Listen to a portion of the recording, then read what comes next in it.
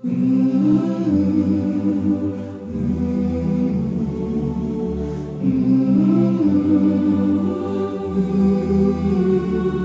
Guinness, c'est avec le cœur meurtri que je prononce quelques mots en ce jour.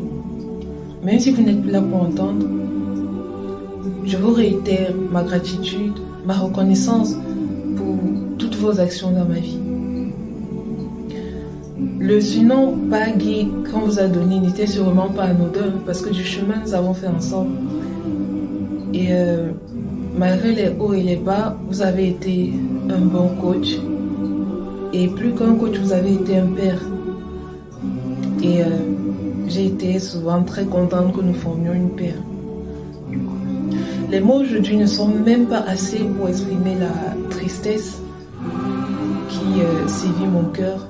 Je dirais nos cœurs. Parce que beaucoup se retrouvent dans cette émotion-là depuis votre départ. Je plus sois cet adage qui dit à vous les fleurs, à nous les pleurs. Je suis tout aussi convaincue que ce n'est qu'un au revoir. Vos œuvres, vos dents et en dehors du hangar resteront à jamais gravées dans nos mémoires. Euh, merci pour chaque leçon de vie que vous nous avez donnée. Merci pour votre positivisme en tout temps, pour votre humilité, pour votre immaturité.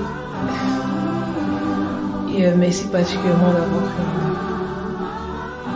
Reposant en paix, coach. Reposant en paix. Et à nouveau mes sincères condoléances aux différentes familles